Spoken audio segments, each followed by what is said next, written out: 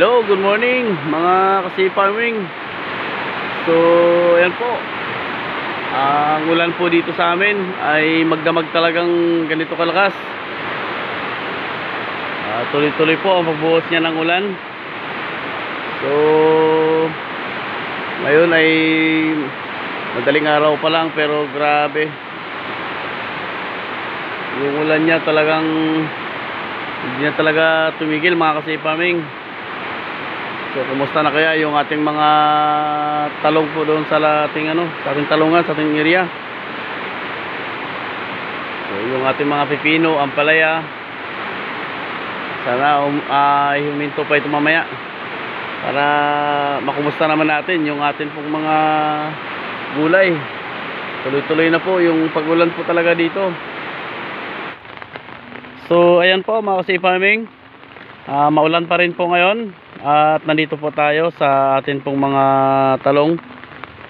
So nakapayong lang po tayo. Update lang po tayo dito sa atin pong mga tanim na gulay. Ayan po mga si farming oh. Yung mga talong po natin ay malalaki na po yung bunga. Ah, ngayon po dapat ang atin pong unang pitas dito po sa atin pong mga talong. So ayan po konting update lang po tayo dito at mamaya po kapag medyo tumigil-tigil din po yung ulan uh, update din po natin yung atin pong mga talong po sa gitna ng palayan at doon din po sa lada. So ayan po mga kasi farming. Kahapon po nag-update din po tayo dito sa atin pong mga talong pero madali ang update lang na yun nga napag-usapan natin yung sasakit po ng bacterial wealth so yan po mga si farming mapansin nyo po marami na pong bawas. Yung atin pong talong dito. Uh, tuloy tuloy po kasi ang pagulan. Yan po mga si farming so doon po tayo sa unahan. Dito po kasi mga si farming nalagyan na po ito ng uh, tali o twine. Kaya medyo hindi na po siya natumba. Nakaraan po ito ay tumba. Itong talong natin dito so ayan po. Ayan po mga farming oh. Yung bunga niya oh. Marami na rin po siyang bunga. Yung iba po ay marami ng bunga. Ang iba naman ay uh, bago pa lang nagsisimula. So update na rin po natin yung atin pong pipino. Tawid na po tayo dito.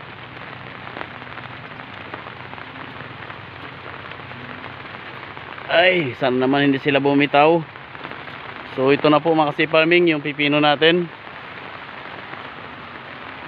Ah, talagang tuloy tuloy ang pagulan. Ito po mga farming yung pipino. So buti na lang ay kumapit talaga sila. So dito po may bumitaw. Ito mga farming. Ito po yung isa bumitaw po siya. Ibalik po natin ito po mga kasi farming. Yan. Balik po natin dito. So yan para kumapit po siya uli. At diretso naman po tayo sa atin pong mga ampalaya. So yan po mga kasi farming oh. Malapit na pong uh, tumaas ng gusto itong atin pong mga pipino So dito muna tayo sa may mga talong po natin na hindi pa natin nalagyan po ng tali. Hindi kasi kami makatali mga kasi farming dahil nga sa patuloy pong pagulan. Ito po mga kasi farming oh. Yan nagtumbahan na. So dito ayan po oh. Nagkanda tumbahan na mga kasi farming. Yung atin pong mga talong. Yan po oh, yung bunga niya oh, yung malaki na po mga kasi farming oh dito po itong isa tuwad na tuwad na oh. Ang dami pa naman bulaklak. So yan po yung update ngayon mga kasi farming yung talong sa talong po natin dito. So punta naman po tayo sa Ampalaya. So nandito na po tayo mga kasi farming um, okay naman po mga kasi farming buti na lang talaga naka plastic bags tayo. Hindi po masyadong ah, babad sa tubig yung ah, nalagyan po natin ng plastic mulch. At yung atin pong mga ampalaya sa awa po ng Panginoon ah, hindi naman po sila bumitaw. Ito meron lang ito katulad po nito mga kasi farming ito po kailangan po ito siya may balik. So dapat may lagay natin sa taas mga kasi farming ganyan po hindi talaga maiwasan mga kasi farming sa sobrang bigat po ng tubig ay mayroon po talagang ah, bibitaw. Ito mga kasi farming oh, bumitaw na naman siya oh. Ito kasi pag hindi natin to maibalik ito po ay ah, may chance po na mabali. Itong ampalaya. So kailangan po natin itong gawin na ibalik sila para hindi po mabali. So ikot po natin ng ganyan yan mga kasi farming. Para bumalik po yung kanya pong pag-akyat. Ay sana nga itong ah, ulan ay tumigil-tigil naman. Dahil nahirapan na rin po yung mga gulay po natin. So ito po mga kasi farming oh. Bumitaw na naman siya. Kaya kailangan po natin itong ibalik. Dandahan lang po mga kasi farming sa pagbalik. Dahil ah, baka po mabali po yung dulo ng atin pong ah, ampalaya. So ganyan lang po. Ingat lang po talaga.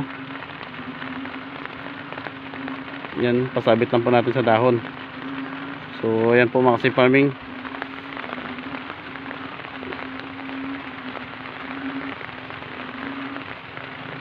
okay naman po mga farming yung atin pong ah, ampalaya dito. So ayan po mga farming kita po tayo doon sa ibang talungan po natin sa gitna ng palayan at saka sa lada. So update lang po natin ulit mamaya po yung atin pong mga gulay kapag tumigil na po itong ulan. So ayan po mga kasi farming Ah, medyo minto na po itong ulan. Pambon-ambon na lang. Ah, kami po ni Kuya ay pupunta na po doon sa atin pong talungan sa Lada at saka sa gitna po ng palayan. Atin na pong i-update yung atin pong mga talong doon. Kumustahin po natin kung okay po ba yung atin pong mga talong doon sa sobrang lakas po ng pagbuhos ng ulan po na ito. So ayan po mga sipamin, kita na lang po tayo doon.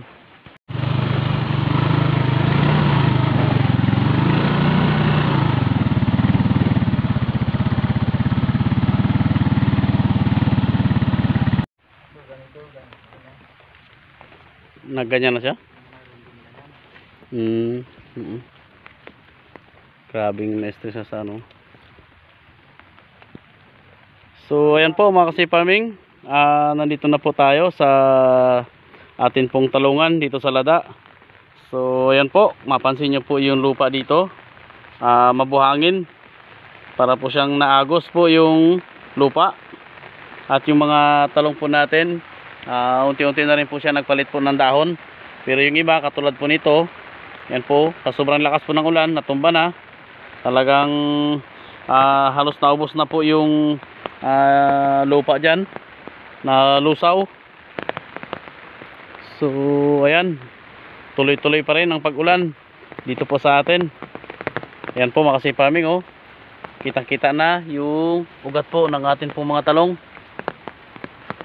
talagang apektado po sila sa sobrang lakas po ng ulan Ah, baka tayo po dito ay makapagsulit po ng atin pong mga talong dahil nga po sa matinding pagbuhos ng ulan na ito so ito po yung update sa atin pong talungan po dito sa lada at mapansin nyo mga kasi farming ah, wala tayo ditong plastic mulch dahil nga po sa ah, mabato o magraba yung ah, area po natin dito. Ayan po, oh. mabuhangin po yung lupa dito.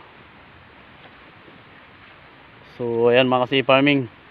Pero sa nakikita naman po natin, ah, okay naman po, buhay naman po yung atin pong mga talong. Ah, yan lang, stress lang po talaga sa sobra pong ah, lakas po ng tubig. First time lang po natin ito mga farming na nakapagtanim po dito sa ganitong area na mabuhangin at ah, magraba. So mamaya po pupuntahan na naman namin ni Kuya yung atin pong talungan sa gitna ng palayan.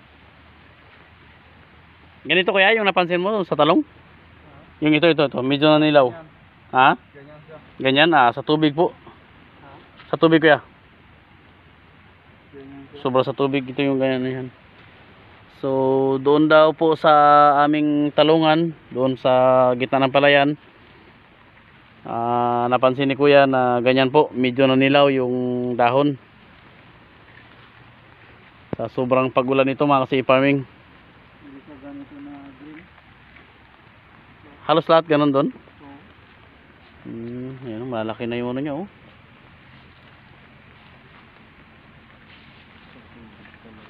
Sa tubig yun. Sige, tignan natin meron. Update lang natin. So, ayan po mga kasi farming. Kita na lang po tayo. Ah, doon po sa may gitna ng palayan. Sa ating talungan po doon. Oo, pag ano no. Siguro narangan yan doon. So, ayan po mga kasi farming. Ah, nandito na po tayo. Papunta na po tayo sa ating pong talungan. Ah, dito na po tayo sa may gitna ng palayan. So, ayan po. Update na lang po natin. Pagdating ko po doon, baka madulas po tayo. Ah, matubig po. Mahirap na yung ating pong camera ay mahulog. So, ayan po mga kasi farming. Ah, malakas pa rin po ang ulan po dito. Nandito na po tayo sa gitna po ng palayan. Dito sa atin pong talungan. So, ito na po yung atin pong mga talong na may edad na pong 40 days. At mabuka na po ang kanila pong mga bulaklak. Yan, marami na pong bulaklak ang atin pong mga talong dito. At meron na rin po tayong napansin na malalaki pong bunga ng atin pong mga talong dito. So, yung bagong tanim po natin, Ah, ito nga po ay pang limang araw na simula nung atin pong itinanim ito. So ayan, may tubig po yung atin pong talungan. Pero buti na lang yung ginawa po natin ay pinataasan po natin yung mga plats para po hindi po madaling maabot ng tubig kung sakaling tumaas man po ang tubig. Hindi po maabot yung atin pong mga talong. So yung isang area naman dito, ito yung isang ah, block dito dito sa baba ay yan talagang puno na ng tubig mga kasi farming medyo naninilaw po mga kasi farming yung atin pong mga talong Ah, dahil nga po sa ah, lagi pong pagulan po dito hindi po siya naiinitan kaya yung mga talong po natin ah, medyo naninilaw po yung mga dahon.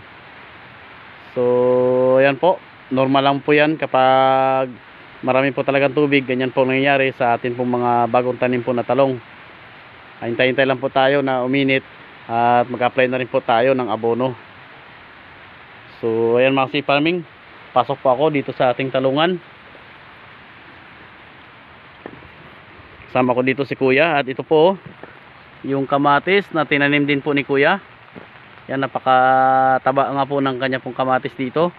Ito po ay tumubo lang doon sa atin pong ah, seedling tray nung tayo po ay nagpunla ng talong so nang hinayang po si kuya na itapon ah, nilagay niya po dito sa ah, tabi lang po ng talong. So kung paano po mag-abono ang pag-abono ng atin pong mga talong ganun din po yung ginawa po ni kuya sa pag-abono ng kamatis. So ayan mga kasi farming oh tataba oh ang dami ng bulaklak. So dito na po tayo sa ating talong. Ito na mga farming meron na pong bunga. Ayan po mga farming oh. Malaki na po yung bunga niya at yung bulaklak niya. Ayan oh. Tapos naglagay na rin po si kuya dito ng tali.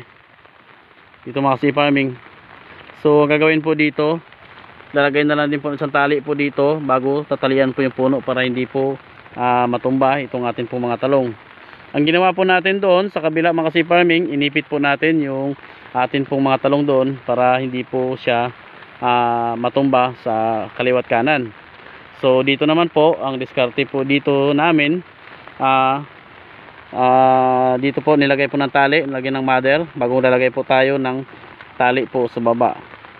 Ang dapat po kasi ang gagawin natin dito, maglagay po tayo ng singsing. Pero mga kasi farming, ang ginawa na lang po natin ay ah, ganyan naglagay po ng mother na tali bago magtatali po tayo sa gitna. Tatalian na lang po yung ah, sa may puno niya, doon sa may bandang Y para hindi po matumba itong talong po natin. So ito na po. Yan o mga kasi farming oh. Yung bulaklak niya, bukang buka. Hindi pa kami dito mga kasi farming nakapagtanggal po ng dahon. Katulad din po doon sa kabila dahil nga po sa patuloy pong pag-ulan. So hintay lang po tayo ng magandang panahon para po sa ating pagbabawas po ng dahon dito sa ating po mga talong. So ayan malakas na naman yung ulan mga kasi farming.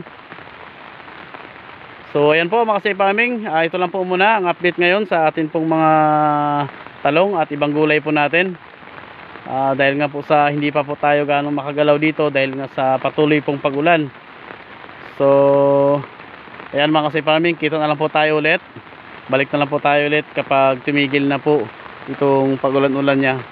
So abang-abangan nyo po mga kasi farming yung mga amin pong gagawin ah, sa atin pong gulayan sa mga pag-abuno po namin sa pagbabalag at sa siyempre sa atin pong ah, pamimitas ng atin pong mga talong so ayan po hanggang dito na lang po muna at yan po pala mga kasi farming Ah, palambing lang po Ah, pakipindot po ang like and subscribe at pakipindot na rin po ang notification bell para po sa sunod na video updated po kayo So, ayan po mga kasi farming. God bless.